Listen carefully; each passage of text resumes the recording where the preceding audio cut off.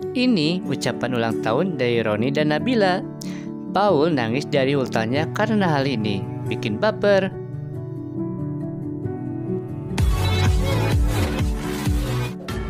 Sebelum melanjutkan video ini, jangan lupa like, comment, dan subscribe ya. Terima kasih. Nyaman Paul hari ini merayakan ulang tahunnya yang ke-22 ya guys.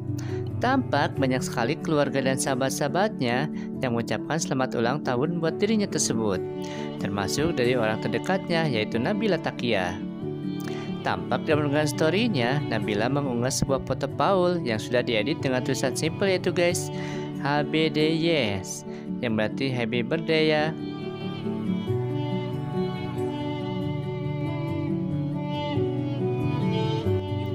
Sementara itu, salah satu sahabatnya Paul yaitu Rani Parulian juga tampak memberikan surprise buat sahabatnya tersebut ya guys.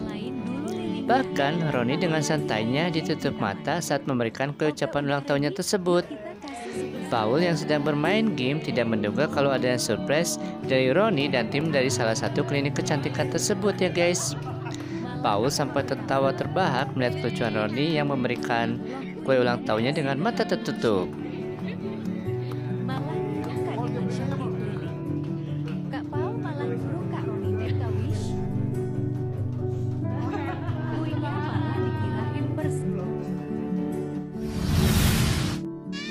Selain ucapan selamat ulang tahun dari sahabat-sahabatnya, ada satu hal yang menarik juga ya guys, yaitu saat salah satu adik Nabila mengucapkan selamat ulang tahunnya buat Paul. Adiknya Nabila tersebut dengan lantangnya mengucapkan selamat ulang tahun buat calon kakak iparnya tersebut ya guys. Ya Paul, selamat ya selamat ulang tahun. Semoga sehat-sehat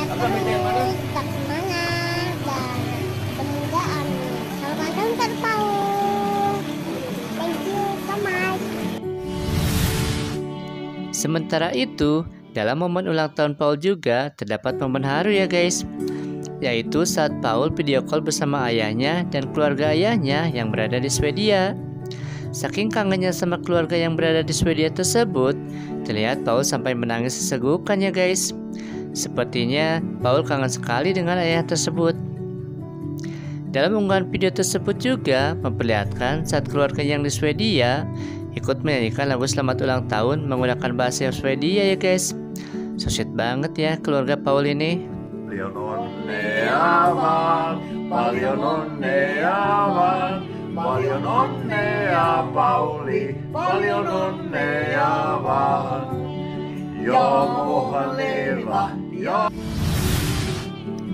Itulah momen baper dari ulang tahun Paul yang ke-22 ya guys.